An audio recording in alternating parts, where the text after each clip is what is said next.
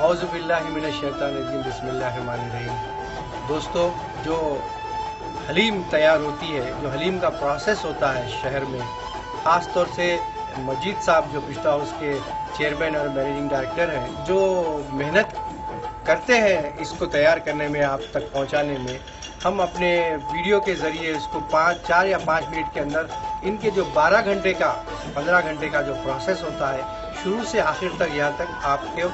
پہنچانے تک کا ہم نے بہت ہی اچھے طریقے سے آپ تک پیش کیا امید ہے آپ کو پسند آئی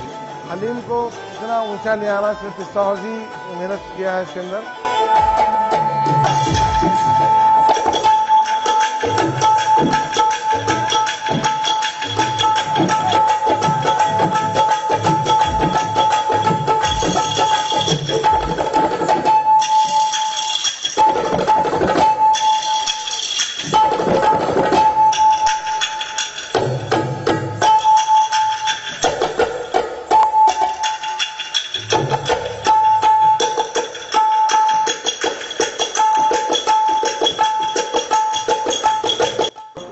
حلیم ہے پستہ ہاؤس کی، اس میں سب سے پہلی بات یہ ہے کہ ہم جو اسپائسز یوز کرتے ہیں پیور اسپائسز یوز کرتے ہیں۔ اور جو اسپائسز ہیں اس کے اندر جیسے شاہزرہ دال چینی کباب چینی۔ اور سب سے بڑی بات یہ ہے کہ اس میں جو میٹ ہوتا ہے میٹ پرفیکٹ ہونا چاہیے میٹ اچھا ہونا چاہیے اور پیور گھی ہونا چاہیے۔